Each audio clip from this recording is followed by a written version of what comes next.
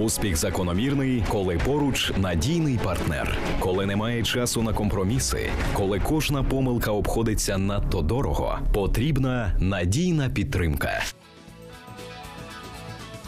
Сьогодні у програмі аукціон небаченої щедрості. Фонд держмайна розпродає державні сільгоспідприємства. Продукти під контролем. На підприємства, які виробляють продукти харчування, прийдуть ревізори. Сезон падіння картоплі розпочався. Голландський рецепт мінімум людей, максимум технологій. Продукти під контролем. На підприємства, які виробляють продукти харчування, прийдуть ревізори, повідомив голова Державної служби з питань безпеки харчових продуктів та захисту споживачів Володимир Лапа. Скасування мораторію на перевірки таких підприємств відбудеться вже найближчі тижні. У держслужбі бідкаються, що не можуть гарантувати безпечність продукції, коли нема можливості перевірити те чи інше підприємство. Ціни на цукор зупинилися. Оптова ціна зафіксувалася на рівні 13 тисяч 200 13 тисяч 600 гривень за тонну.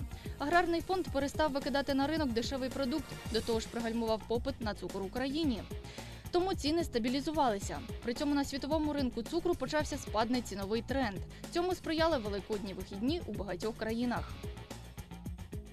Президент підписав закон про земельні аукціони. Документ скасовує можливість отримання в оренду державної і комунальної землі без аукціону тими підприємствами, де частка держави або територіальної громади понад 60%. Обмежено і кількість випадків, коли землю віддадуть у користування. Експерти сподіваються на зменшення корупції у цій сфері. До списку найбагатших українців за версією Forbes потрапив аграрій.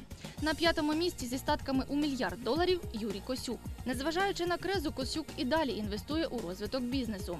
2016-го тільки в українські проекти буде вкладено до 110 мільйонів доларів. До того ж, бізнесмен запускає власне виробництво і переробку м'яса птиці в Нідерландах. У чільній трійці списку найбагатших Ренат Ахметов, Ігор Коломойський та Геннадій Боголюбов. Аукціон небаченої щедрості фонд держмайна виставив на продаж 30 державних сільгоспідприємств. Продаватимуть об'єкти за півціни. Для 22 підприємств передбачений дисконт у 60%. 9 продадуть з 50% знижкою.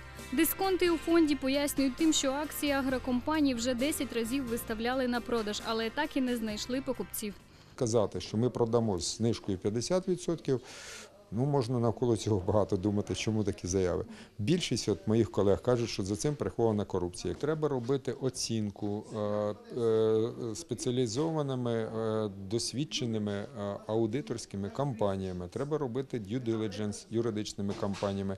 Ці матеріали виставляти публічно, щоб ви бачили, яка ціна цих підприємств. Гальмує приватизацію ще й тотальна корупція, вважають експерти. Крім того, без відкриття ринку землі іноземні інвестори не поспішатимуть вкладати кошти в українські держпідприємства. Приватизовувати будівлі без права власності на земельні ділянки все одно, що будувати оселю не з фундаменту, а з даху, вважає відомий польський політик. Это будет приватизация без правой руки. Всегда э, я имею, но не имею. Но, но- но- я знаю, как это было в Польше. А были т- очень большие проблемы, как мы стали членом Евросоюза. П- Германцы придут выкупить наши лесы, озера, б- б- прекрасную Польшу, они все э, выкупят. Это не случилось. Тим часом у американській торгівельній палаті в Україні переконують, за умов прозорої приватизації наша держава отримує інвестиції в мільярди доларів.